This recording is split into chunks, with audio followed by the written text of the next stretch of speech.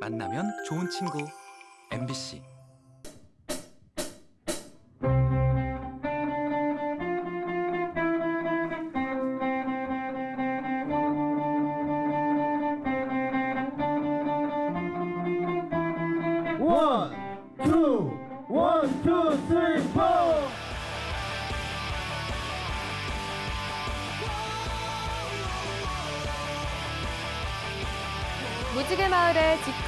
밴드가 떴습니다.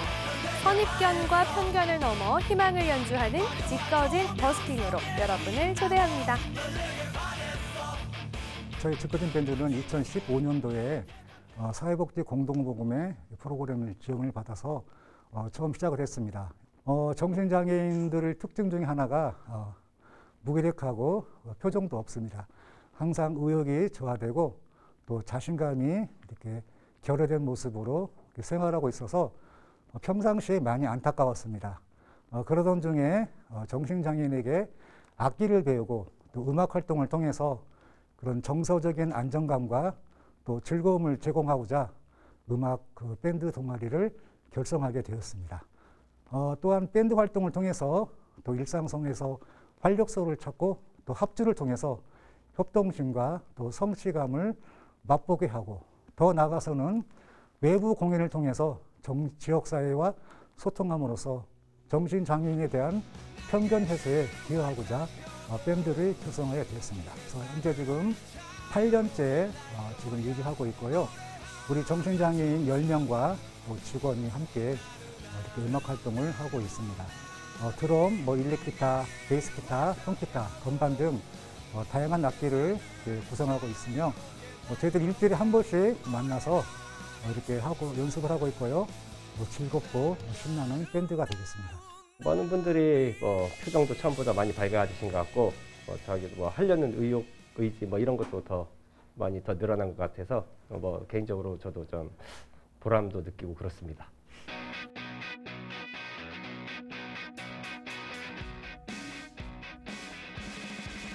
내 소리를 줄이고 상대방의 소리를 들으며 밴드 활동을 통해 숨겨진 음악적 재능을 마음껏 발산하고 세상 속으로 한 발 더 다가서고 있습니다.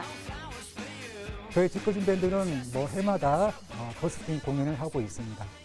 어, 이번에도 지역사회와 소통하고 정신장애인에 대한 편견을 해소하고자 10월 19일 날 시민복지타운에서 버스킹 공연을 하게 되었습니다. 어, 저희들이 그동안 연습한 곡들을 버스킹 공연을 통해서 어, 우리도 할 수 있다는 그런 좋은 자리가 되기를 바랍니다. 어, 이번 버스킹 공연을 통해서 저희 가족들이 한층 더 밝아지고 또 자신감을 갖고 재활의 꿈을 놓지 않고 열심히 살아갈 수 있는 그런 계기가 되기를 바랍니다.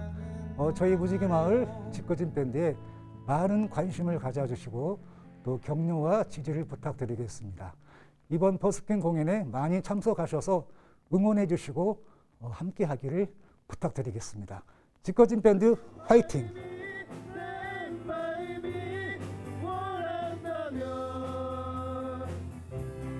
지역사회와 소통하며 주체적인 삶을 응원하는 짓거진 밴드의 짓거진 버스킹. 그들이 부르는 희망의 노래가 기대됩니다. 10월 19일 오후 2시 30분 직거진 밴드 직거진 버스킹 강남부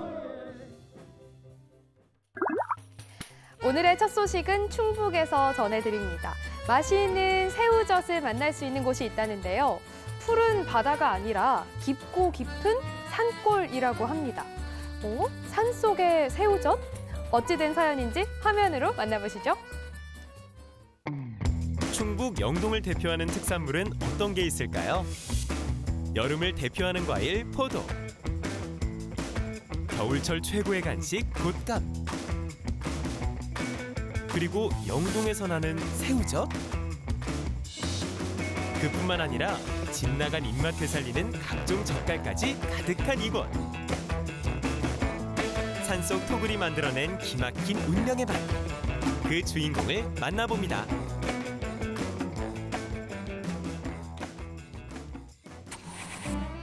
영동의 산속 깊은 곳 서늘하게 느껴지는 토굴에 들어왔는데요. 정체불명의 빨간 통이 가득합니다.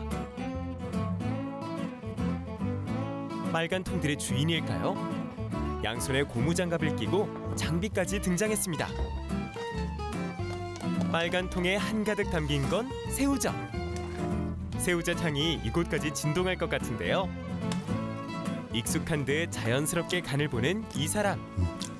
기왕 새우젓 장사를 할 바에는 어, 굴이 많다고 하니 좀 찾아가지고 그곳에서 숙성을 하면 어떨까 싶어서 이제 물색을 해보니까 마침 이제 이런 굴이 방치되어 있는 굴이 있어서 영동군으로부터 임대를 해서 어, 임대료를 주고 지금까지 해오고 있습니다.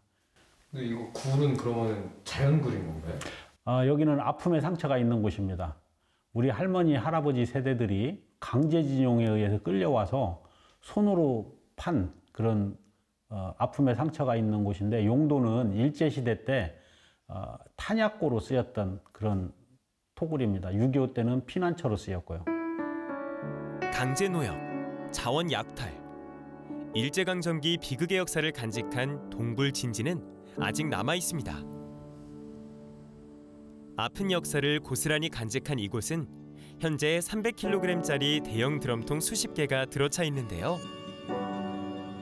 지금은 김종복 대표의 손을 통해 각종 젓갈을 품고 있는 토굴로 쓰이고 있습니다.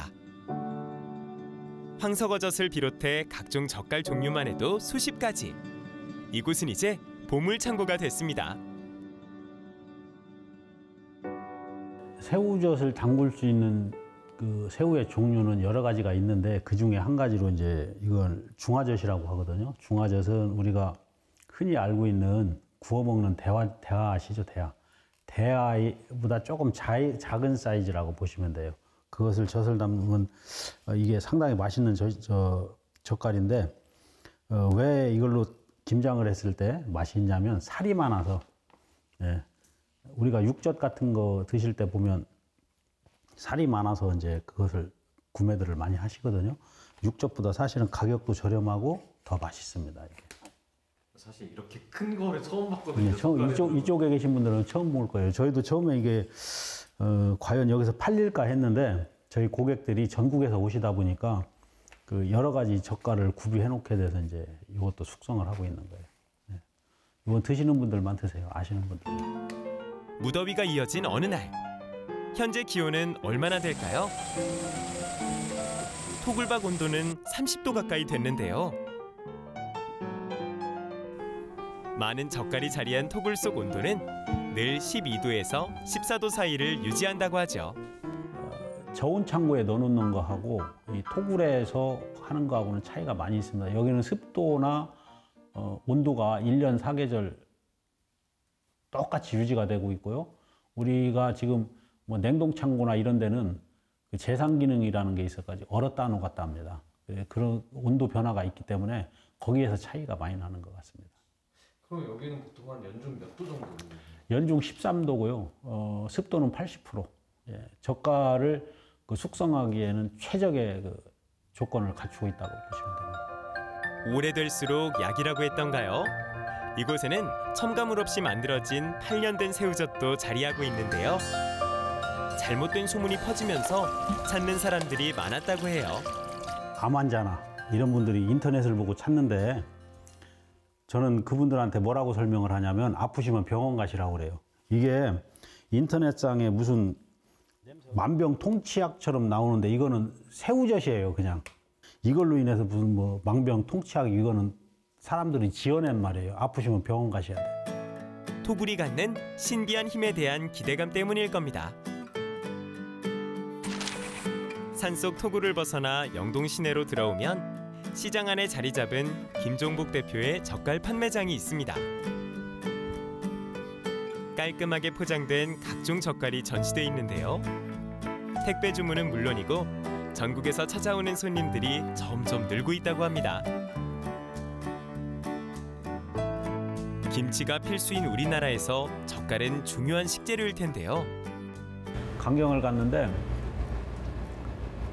근데 제가 찾- 찾는 그런 젓갈이 아니었어요. 어, 그래서 목포를 가게 됐고 목포에서 어, 수소문에서 좋은 그 스승을 만났는데 그분이 하시는 말씀이 물 타고 미원 탄 새우젓은 돈 주고 살려면 아무 데 가서 살 수가 있다. 그러나 그러지 않은 것은 돈 주고 사고 싶어도 못 사는 그런 세상이 됐으니까 당신이 이것을 해서 성공을 하고 싶으면 어, 내가 시키는 대로 하면 도와주겠다. 네, 그래서 저희 비결은 해서 숙성하는 것도 있지만 어, 뭐를 가미를 해서 판다든가 인위적인 맛을 안 내고 어, 해서 어, 저온 숙성해서 파는 데 비결이 있는 것 같습니다. 아무런 연고도 없는 영동에 와서 시작한 포도 농사. 쉽게 생각하고 덤빈 일은 실패로 끝나고 돌고 돌아 이렇게 새우젓과 인연이 닿아 지금의 자리까지 왔습니다. 오랜 시간 연구하고 노력한 결과 인정받고 얻어낸 결실. 다양한 상들이 김종복 대표의 노고를 인정해주고 있습니다. 조금만 생각을 바꾸면 우리 영동도 젓갈의 그 메카로도 만들 수 있다. 저는 그렇게 생각을 하거든요. 제가 이제 뭐 어떤 꿈이 있다면 가게를 중심으로 해서 그 골목이 젓갈집이 좀 몇 군데 생겼으면 좋겠다. 그러면 경쟁을 하면서 성장시킬 수 있지 않냐. 어, 그런 생각을 갖고 있고요. 어, 누구든지 어, 와서 젓갈 한번 창업 한번 해보겠다. 쉽지는 않은 길이지만 그뭐 유통 과정이라든가 또 어디서 물건을 해온다든가 이런 것까지는 저희들이 도와줄 수 있습니다. 저 혼자보다는 여럿이 낫기 때문에. 자신만의 비법과 양심을 무기 삼아 건강한 고품질 생산을 목표로 끊임없이 연구하고 노력하는 김종복 대표. 내가 사는 우리 지역을 위해 내가 파는 상품의 믿음을 위해 포기하지 않는 그의 미래를 응원합니다.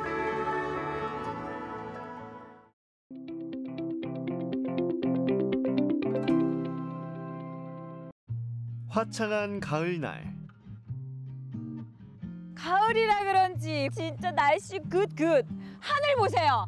이야 진짜 최고다 최고. 저 하늘과 가까운 데서 커피 한 잔 마시면서 여유를 즐기고 싶다. 천국 보내네. 한 방에 그냥 해보내 보내네 나를. 아 정말. 하늘과 맞닿을 만한 그런 좀 좋은 데 없나? 없어요? 그래서 찾아 나섰습니다. 높아진 하늘을 제대로 느낄 수 있는 곳. 바로 춘천 최고의 카페를 찾아라. 춘천에서 카페하면 빼놓을 수 없는 곳. 춘천 시내가 한눈에 내려다 보이는 구봉산 카페거리입니다. 아니 여기는 또 우리 춘천 하플 이 구봉산 카페거리 여기 자체도 지금 엄청 높은데 어디 있어요 여기 그냥 쭉 가면 여기 끝인데 오른쪽을 보세요. 오른쪽? 여기서 더 올라간다고요? 이거 커피 한 잔 마시려고 거의 뭐 행군 수준인데? 높은 산 깊은 곳 정막한 카페 기다려라 내가 간다 어, 차 타고 가자 아이 누가 걸어가요 요즘 길 좋잖아 오르고 오르고 또 오르면 보이는 산 속의 카페 와, 이 춘천에 또 이 시내가 한눈에 쫙 지금 들어오고 그 끝자락에 이 하늘. 아, 오늘 가을 하늘 너무 예쁘다. 이 맛에 오는 거야, 이 맛에. 청명한 가을 하늘과 함께 펼쳐진 춘천 시내 전경. 높은 곳에 올라야만 볼 수 있는 풍경들인데요.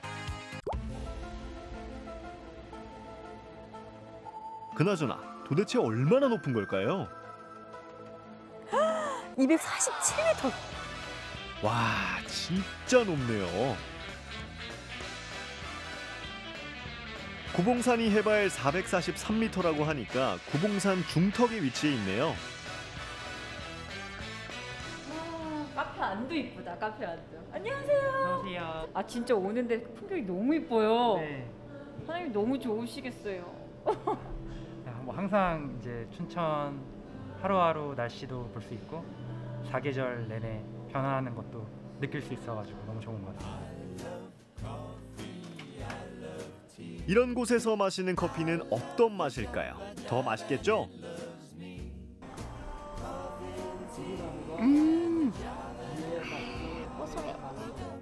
고소하고 진한 커피에 멋진 풍경 한 스푼을 더 넣은 맛. 커피를 집에서 그냥 먹는 거랑 여기 나와서 탁 트인 이 가을날 이 춘천 시내가 한 곳에 다 보이는 이곳에서 이 높은 곳 전망에서 먹는 이 커피의 느낌은 하늘과 땅 차이네요. 역시 사람은 높은 곳에 있어야 돼요. 맞아요. 제가 아까 군가 부르면서 올라왔잖아요. 저희 집에서 제가 사단장이에요. 네.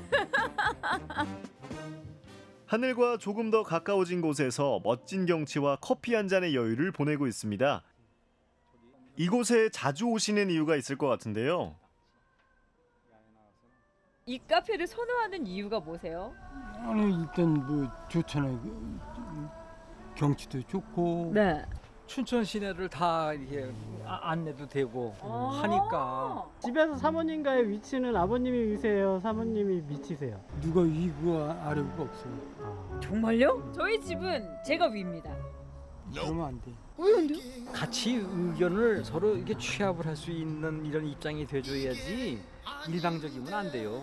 내려갈 때도 감독님 걸어서 내려갈게요. 반성해야 될 것 같아요. 어, 조심히 내려가세요. 나는 간다. 산과 호수가 많아서 더 아름다운 춘천. 아, 이 춘천이 한눈에 보이는 곳에서 여유롭게 이제 커피도 좀 마셨으니까 여기 말고는 뭐 딴 데 또 없죠? 아니요, 있어요. 사막산에 있습니다. 사막산? 그 아, 악소리 난다는 사막산? 가 걸어 가셔야죠. 아 말도 안 돼. 진짜 아저씨. 퀴즈를 맞추면 편하게 가게 해줄게요. 청도 마비가 무슨 한자일까요? 천, 하늘천, 고, 높을고, 마, 말마. 비. 잠깐 비가 무슨 비지? 비, 비. 잠깐만. 말은 살비. 비만 비. 어? 비만 비. 그냥 걸어갈게요. 네. 비만 비 맞네. 아 맞다니까 진짜. 아 이리 와. 빨리 진짜. 이리 와. 사막산을 오르는 쉽고 편안한 방법. 아니 이렇게 쉬운 방법이 있는데 왜 걸어가요? 아저 처음 타는데 너무 기대돼요. 탑승해도 되나요? 네.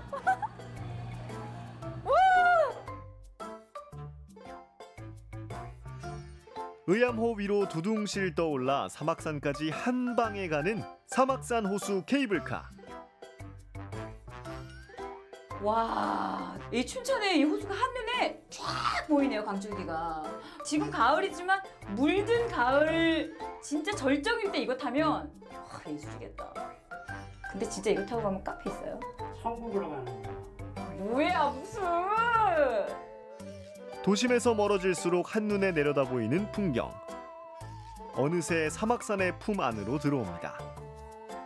자, 이제 카페 찾기 시작. 잠깐만. 어? 대박, 진짜 있어, 진짜. 사막산 호수 케이블카를 타고 올라간 곳에서 만난 카페. 이야, 높다 높아. 여기는 도대체 해발 몇 미터나 될까요? 와.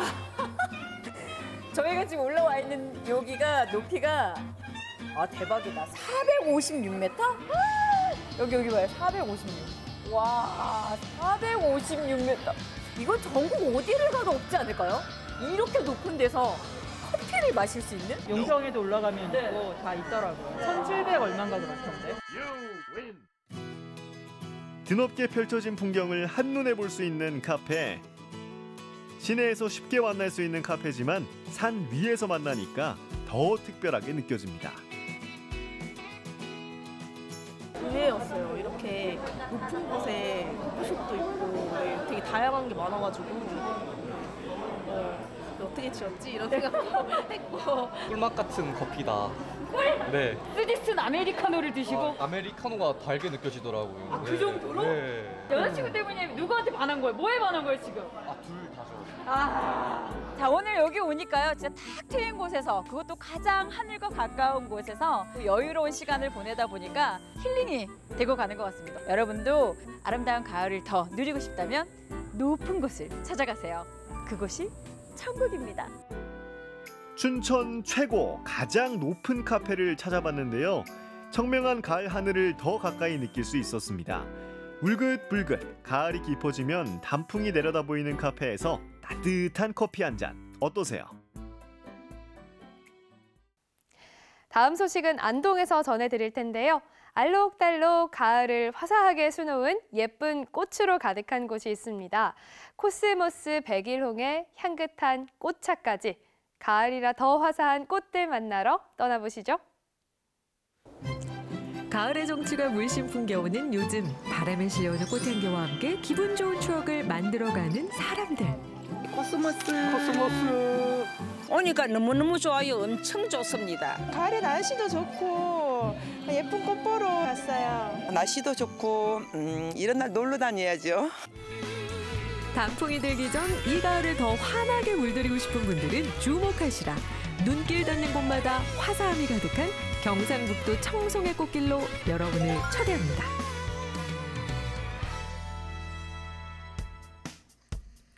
공기 좋고 물 맑기로 소문난 경상북도 청송.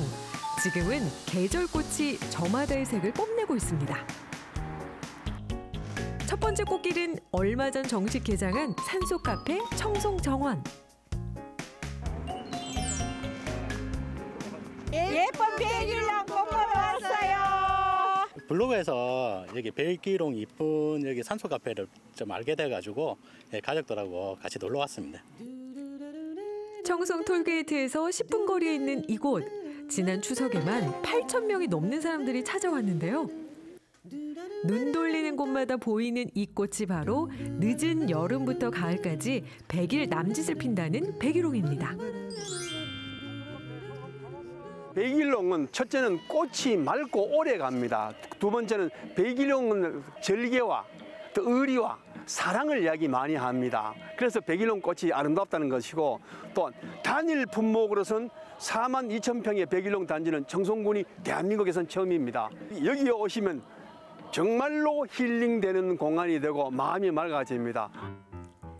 축구장 19개 크기와 맞먹는 백일홍 단지가 있다는 소식에 하루가 멀다 하고 몰려드는 관광객들. 멋진 풍경을 배경으로 찍는 인증샷은 필수 코스. 꽃이 너무 많고 다 우리 닮아서 이쁘고 어, 간만에 나왔는데 이런 예쁜 꽃들도 있어서 정말 좋아요. 가족들하고 오면 더 좋을 것 같아요. 꽃이 되게 알록달록해서 기분이 좋고요. 공부 때문에 스트레스도 풀리는 것 같고 공기도 상쾌하고 가을 하늘이 되게 높고 너무 예뻐요. 하나, 둘, 셋, 백일홍. 백일홍. 찍었다 하면 인생샷. 다양한 포토존이 있어서 더 예쁘고 감성적인 사진을 건질 수 있습니다. 꽃들도 많고요. 어, 꽃들이 물감을 뿌려놓은 것 같아서 예뻤습니다. 너무너무 아름답고 사람들도 많이 오셨고 경치도 좋고 하늘도 푸르르고 너무너무 좋아요.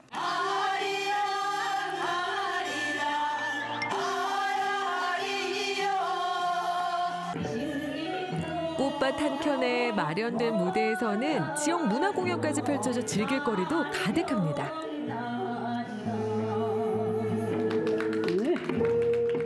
앞으로도 각종 공연이랑 행사도 많이 개최될 예정이니까요. 오셔서 부엉이 전망타워도 올라가 보시고 천국의 계단도 올라가 보시고 산송카페 청송정원에서 가을을 많이 만끽하시길 바라겠습니다. 올가을 청정 자연과 함께 힐링할 수 있는 곳이 필요하다면 산소 카페 청송 정원에서 드넓은 백일홍 꽃길 걸어보시기 바랍니다. 백일홍 꽃으로 가득한 산소 카페 청송 정원으로 놀러 오세요. 여기는 청송군 진보면 소설 객주를 쓴 김주영 작가의 출생지입니다. 청송에서 만날 수 있는 두 번째 꽃길은 바로 코스모스. 바람에 흔들리는 모습 때문에 순 우리말로는 살살의 꽃입니다. 꽃밭이 위치한 객주 문학마을 안쪽으로는 카페가 자리하고 있고 다른 건물들은 하나둘 민박으로 꾸며질 예정입니다. 그 옆에는 문학관도 있으니까요. 가을 감성 객주 문학마을에서 채워보세요. 이어서 발길을 옮긴 곳은 주황산 관광단지에 위치한 이곳. 요즘 대세라는 황화 코스모스가 오늘의 세 번째 꽃길입니다.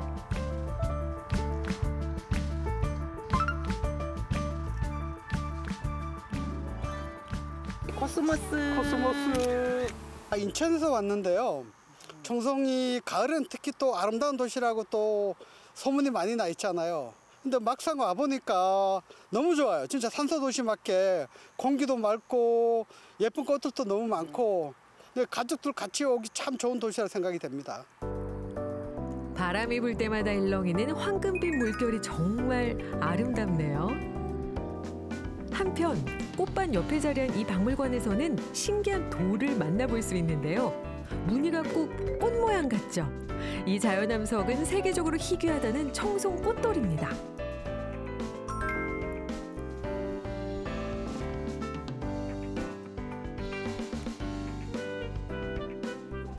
지금은 채취가 전면적으로 금지됐기 때문에 쉽게 만나려면 이곳 박물관을 찾으면 됩니다.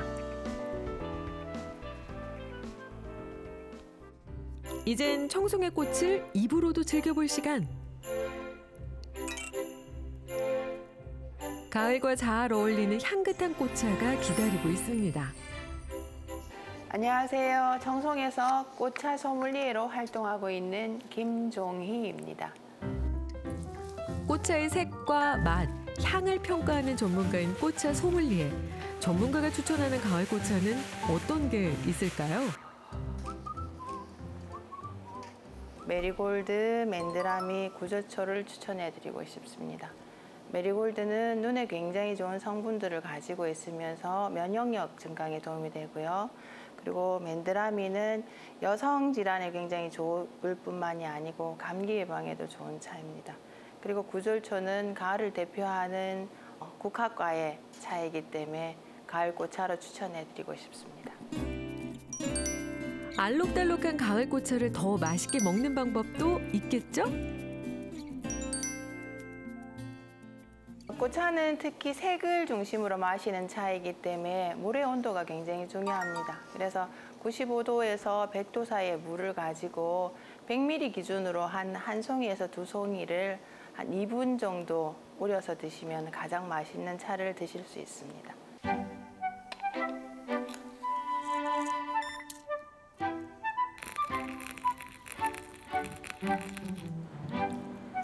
꽃차 한 잔을 마시니 비로소 가을이 오감으로 모두 느껴집니다.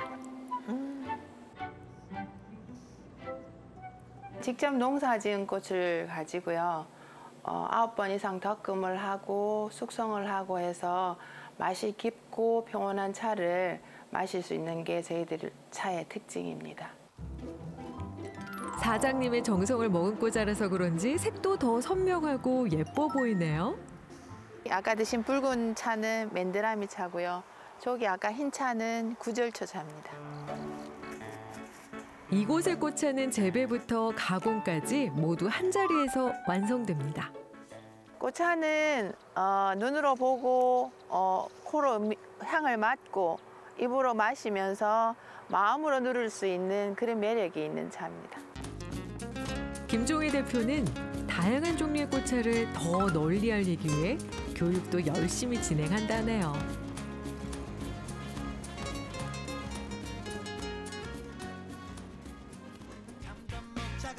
살랑살랑 가을바람이 불어오는 날 좋은 사람들과 함께 걸어도 좋고 혼자 자연을 만끽해도 좋습니다.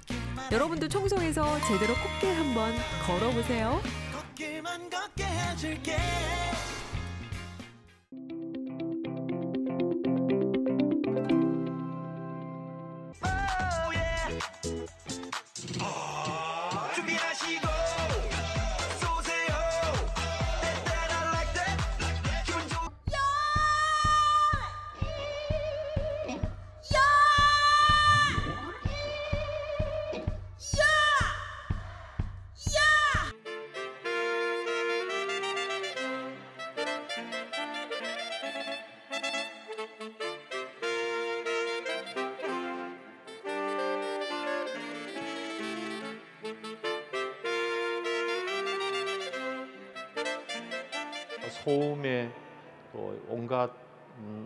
상황 속에서 견뎌내고 계시는 평산마을의 어르신들께 작은 위안이 되고자 저희들 그런 프로그램을 기획했고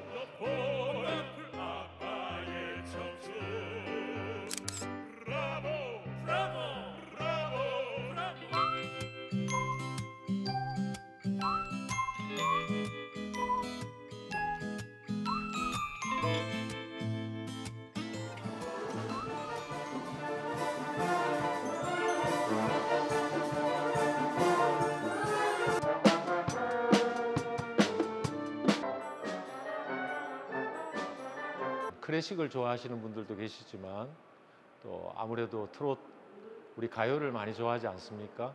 가요를 좋아하시는 분들께서는 예, 트롯의 매력을 느끼게 해주는 계기가 되고 또 클래식을 즐기시는 분들에게는 또 흥겨운 가요를 충분히 만끽할 수 있는 예, 그런 어, 기회로 예, 제공하고자 이번 프로그램을 예, 만들었습니다.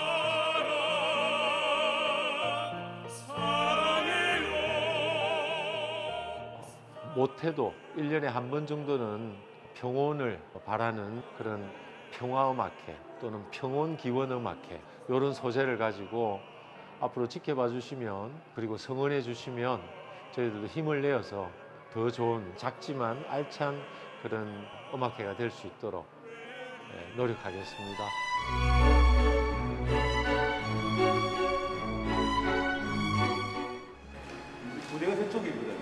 저쪽이거든요. 저쪽은 그렇게 이쪽 다 다이어리거든요. 어, 저희 양산 윈드 오케스트라는 2001년에 어, 창단 이후로 어, 찾아가는 오케스트라 및 어, 뮤지컬 공연, 어, 정기 공연, 예술화 놀자 찾아가는 오케스트라 공연 어, 여러 가지 공연들을 통해서 양산 시민들과 함께 소통하고 있습니다.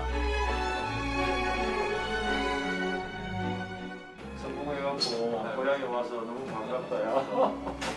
정말 노래를 절실하게 더 많이 불러야 되겠다는 생각이 들었고요.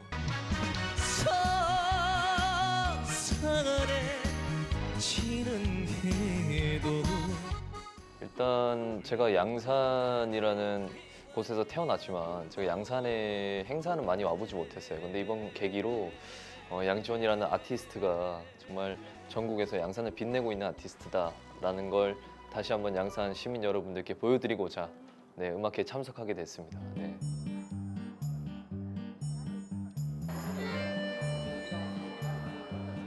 사진 찍으러 오셨죠? 오늘 예쁘게 해오셨네요. 네, 예쁘게 하고 왔습니다. 양지원 보러 왔습니다. 그 양산의 지역 특색상 문화를 즐길 수 있는 기회가 적은데 오늘 이렇게 좋은 장소를 좋은 기회를 또 좋은 음악을 들려주게끔 해주셔서 너무 고맙습니다. 기대됩니다. 예.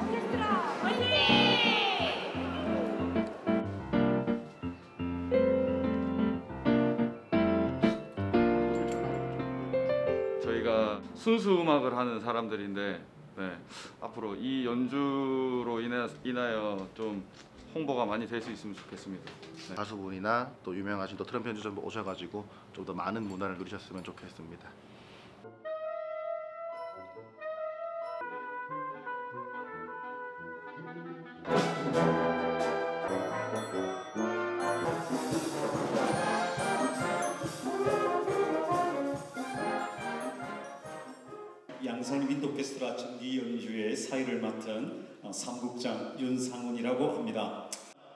지장님을 뜨거운 박수로 맞이하겠습니다.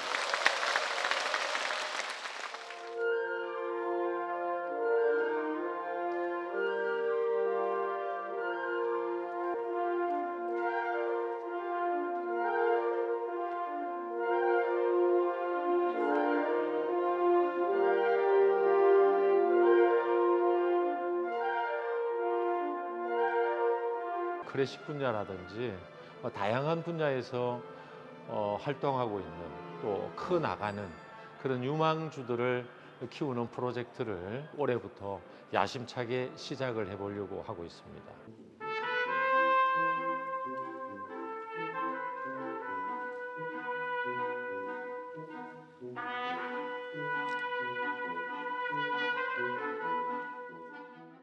양지훈님을 뜨거운 박수로 모시겠습니다.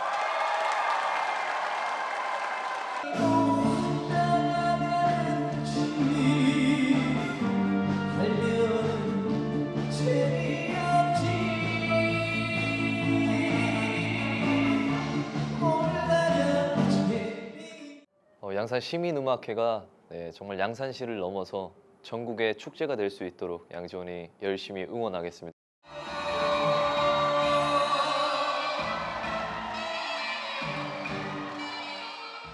처음 보러 왔는데 생각했던 것보다 훨씬 더 재밌었고요.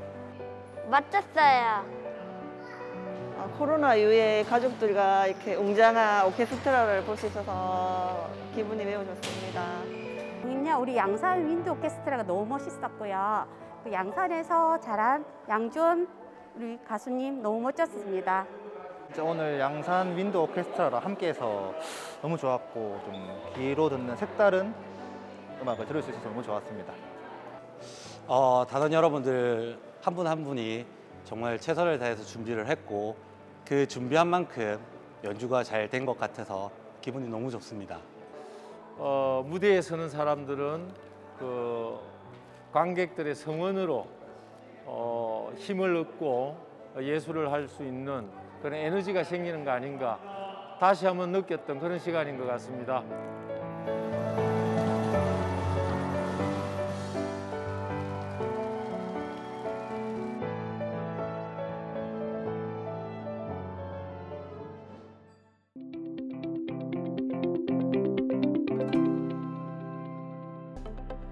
답사를 떠나볼 우리 동네는 항구동입니다. 전국적으로 유명한 영일대 해수욕장이 있는 이곳 항구동에는 어떤 이야기가 녹아 있을까요? 자 오늘도 우리 동네의 다양한 이야기들을 발견하고요 만나보는 시간을 갖도록 하겠습니다. 우리 동네 답사하기. 자 오늘은 어떤 동네에 대한 이야기를 해볼까요? 지금 화면 뒤로 보이겠죠. 네. 북부 해수욕장. 오늘날에는 사실 영일대 해수욕장이 맞는데 많은 포항 시민들은 북부 해수욕장으로도 아직 기억하고 계시죠.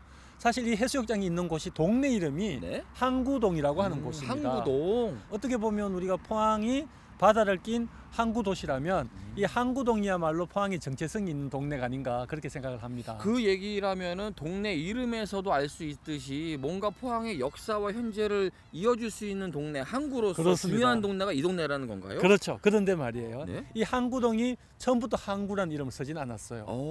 거슬러 올라가면 아호동이라고 했다고 합니다. 네. 그래서 이제 아호동이 오늘 제가 좀 설명을 드리고 싶은 내용입니다. 야, 우리가 알고 있었던 여길대 해수욕장 그곳은요 항구동이라는 동네고요. 그 전에는 아호동이라는 이름이 있었다고 합니다. 그 역사의 발자취들 우리가 살고 있는 동네 이야기들 지금부터 하나하나 함께 만나보시죠. 항구동의 옛 지명이 아호동이었다는 사실은 포항에 살면서도 잘 몰랐던 분들이 많을 것 같은데요. 아호동이 남긴 시간의 흔적을 찾아서 발걸음을 옮기다 보니 오래된 제당 앞에 이르렀습니다. 과연 이곳은 어떤 곳일까요? 저도 십수년간 포항에 있으면서 포항을 좀 음. 안다고 생각했는데 아마 포항에 오래 사셨던 분들도 이곳은 처음이지 싶습니다. 설명을 네. 좀 해주세요. 그렇죠. 어, 현판에 보시다시피 아호동 재당으로 되어 있고요. 네. 아호동 설명을 이제 좀 드리면 사실 포항에는 삼호라는 게 있었습니다. 삼호. 두호, 한호. 그리고 아호인데 두호, 한호는 들어보셨잖아요. 네. 현재 동네 이름으로 남아 있고요. 네. 아호만 이제 아호동이라기보다는 현재는 항구동이라고 이제 불려져 있는데 음. 어 그러한 아호의 흔적을 찾아서 우리가 여기까지 왔지 않습니까? 네. 현판에 보면 아호동 재당 그렇게 이제 되어 있고요. 어, 사실 내륙 지방에서는 이러한 재당들이 많이 없어졌습니다. 그러게요. 하지만 바닷가 지역, 우리 포항을 비롯한 바닷가 지역은 아무래도 이제 이 어떤 어업이라고 하는 것이 음. 배를 타고 망망대해를 나가는 거기 때문에 좀 더 어떤 사람의 마음이 약해지니까 네. 어딘가에 뭔가 의지를 하게 되지 않습니까? 음. 그러한 의식이 나- 많이 남아 있기 때문에 바닷가 지역에는 아직 이러한 재량이 남아 있고요. 네. 어, 지금 주변에 보면 전부 아파트 지역인데 그렇죠. 이러한 아파트 지역에 이러한 옛 모습이 갖추어져 있다라는 것이 이러한 재당의 오늘날의 의미가 아닌가 그렇게 생각을 합니다. 그렇습니다. 앞쪽으로는 영일대 해수욕장의 동해 바다가 펼쳐져 있고요. 바로 뒤쪽으로 아파트들이 있는데 사실 이 아파트들이 있던 곳은 기존의 산이었고 그 산 안에는 맞습니다. 재당도 있습니다. 우리 동네를 만나는 새로운 발견은 바로 이런 게 아닌가 싶어요. 여객선 터미널과 포항 구항이 있어서 바다와 육지를 잇는 역할을 하는 포항 항구동. 바다에 기대어 살아왔고 바다와 함께 성장했던 항구 도시 포항의 더 많은 이야기를 항구동에서 이어갑니다. 우리 포항의 큰 관문 중에 하나죠. 여객선 터미널이 그대로 내려다 보이는 학산 위로 자리를 했습니다. 맞습니다. 굉장히 아름다운데요. 그렇죠. 네. 어, 사실 우리가 이 가까이 있어서 보이는 것도 있지만 네. 조금 떨어졌을 때 전체를 조망하는 음. 어떤 그런 시야도 굉장히 좋지 않습니까? 네. 어, 이곳 학산이 가장 바다에 가까이 있는 산이고 음. 지금 말씀하셨듯이 항구동 오늘의 주제인 항구동을 내려다보는 위치에 있어서 전체적인 어떤 동빈내양이 영일만 바다를 만나는 오. 그러한 풍광 저는 그게 가장 포항의 아름다운 곳이자 포항의 정체성이라고 보거든요. 어, 그곳이 아름다운 것은 알겠어요. 그런데 이게 정체성이라는 말씀하셨으니까 그에 대한 그렇습니다. 얘기를 조금 더 들어볼게요. 포항은 뭐 지금은 우리가 철강 도시고 또 여러 이제 어떤 비전을 제시하고는 있습니다만 태생적으로는 우리가 바다를 끼고 있다라는 장점은 음. 우리가 잊을 수가 없는 거죠. 그래서 저는 해양 도시라고 보는 거고요. 네. 그런 해양 도시는 바다로 나가는 관문이기 때문에 포항 항구가 저, 결국은 포항의 정체성이다. 음. 아래로 내려다 보이는 곳이 포항 항이거든요. 네. 내년이면 어떤 국기항으로 개항한 지가 100년이 되는 오. 항입니다. 그런 곳을 바라보는 이곳. 그래서 포항의 정체성이라고 말씀을 드리는 거죠. 아마 많은 분들이 해변가에서 포항의 해수욕장을 바라보면서 아름답다 생각을 하실 텐데 조금만 걸어보시면 더 아름다운 포항의 풍광을 널찍하게 보실 수 있습니다. 이번엔 다시 영일대 해수욕장으로 발길을 옮겼는데요. 포항의 대표 관광지이자 시민들의 소중한 휴식처로 사랑받는 곳. 여유와 낭만이 있는 이곳에서 항구동의 오늘과 내일을 이야기해 보려 합니다.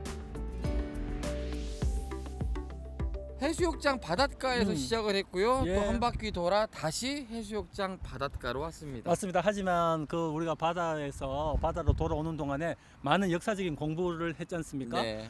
어, 원래 이곳이 북부 해수욕장인데요. 네. 지금은 영일대 해수욕장이라고 불립니다. 그렇죠. 이는 마치 우리가 항구동을 오늘 주제로 하고 있는데요. 네. 예전에는 거슬러 올라가서 아호동이라고 했던 것처럼 음. 그런 역사가 있는 것이죠. 어, 북부 해수욕장은 사실은 북부라는 지명은 요즘은 많이 이제 안 사용하죠. 뭐 맞습니다. 중앙이니 남부니 북부니 어떤 그런 기준점이 없으니까 그래서 이제 영일대 해수욕장이라고 지어질 때 네. 앞서 제가 아호동 말씀드렸듯이 여러 해수욕장 이름을 공모할 때 아호 해수욕장으로 하자라는 음. 이야기도 나왔습니다. 하지만 이제 아호동은 사용되지 않는 용어다 보니까 또 북부 해수욕장에 어떤 해상 누각이 영일대라는 이름으로 생기면서 네. 영일대 해수욕장으로 이름이 지어졌죠. 이 영일대 해수욕장을 걷다 보면은 우리 포항 스틸 철의 고장이잖아요. 맞습니다. 스틸 페스티벌을 통해서 많은 작품들도 볼 수 있는데 딱 이 시기인 것 같아요. 그렇습니다. 우리가 오늘 포항의 역사를 공부를 했는데요. 네. 사실 역사는 어떤 미래의 대안을 제시하느냐 했을 때 의미가 있다고 저는 봅니다. 네. 이곳 어, 바닷가는 산업과 그리고 레저를 말씀을 드렸는데 그러한 문화까지 그래서 이제 스틸 아트 페스티벌에 많은 작품들이 이곳에 또 전시가 되어 있는 거 정말 이곳의 매력이라고 할 수 있습니다. 그렇습니다. 오늘 아호동에서 항구동까지 북부 해수욕장에서 영일대 해수욕장까지 배워봤고요. 더불어서 이곳에 있는 여러 가지 스틸아트 작품들까지도 여러분들 포항에 오시면은 또 포항 시민이라면은 한박 느껴보시기를 바라겠습니다. 이번 주 굉장히 재밌었고요. 그렇습니다. 다음 시간도 기대해 보도록 하겠습니다. 좋습니다. 감사합니다. 감사합니다. 아는 만큼 사랑하게 되는 우리 동네 이야기.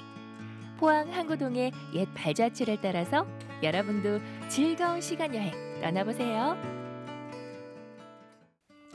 네, 영일대 해수욕장과 역사와 문화가 함께 있는 포항 항구동 답사기 잘 만나보았습니다. 우리 제주의 여러 동네 골목 골목에도 이렇게 역사와 따뜻한 이야기들이 녹아 있는데요. 감성 충만해지는 가을날 정겨운 시간 여행 떠나보시는 것도 참 좋을 것 같아요. 자, 오늘 저희가 준비한 소식은 여기까지고요. 저는 여기서 인사드릴게요. 함께 해 주신 여러분 고맙습니다.